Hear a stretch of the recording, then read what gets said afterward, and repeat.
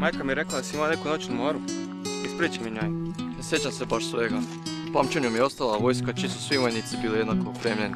Ja sam bio zapovjednik te vojske. Što taj sad predstavlja? Ne znam, sine. Rat je najgora stvar što se ljudima može dogoditi. Vrijeme će pokazati što to znači.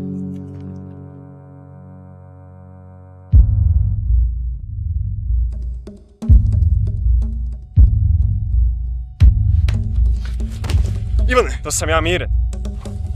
Što se ovdje dogodilo? Razbojnici. Kod mene si uvijek i uvijek ćeš biti dobrodošao. Hvala. Ali ne mogu. Vrijeme je da krenem svojim putem.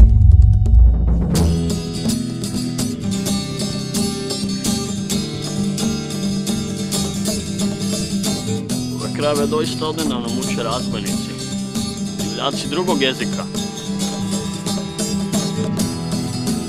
Stani iza mene, mladić. Bogom. Pogledaj oko sebe.